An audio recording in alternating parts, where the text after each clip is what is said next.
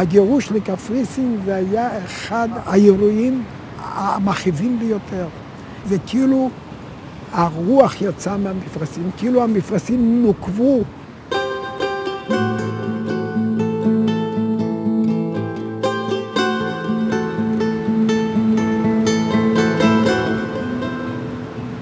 הבריטים הקימו מחנה הסגר לעולים שעלו ארצה בהפלה בלתי חוקית והכניסו אותם לתוך המחנה הזה.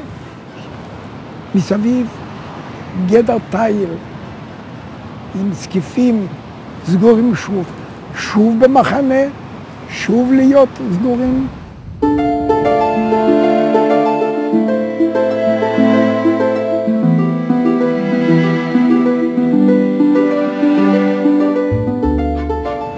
קפריסין והחוף של הים, איפה שיהיה מחנה 60, בשבילי זה איזה פינה, כמו איזה פנינה בתוך הלב שלא נשכחת.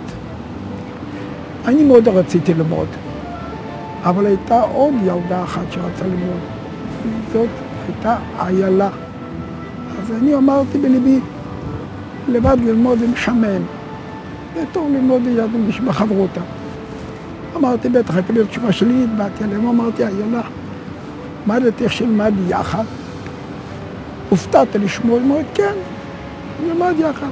עזבנו את אורן, באנו פה שפת הים, שם היה על שפת הים, ממש גדר תיל, היה שם סלע לבן, וישבנו עליו והתחלנו ללמוד.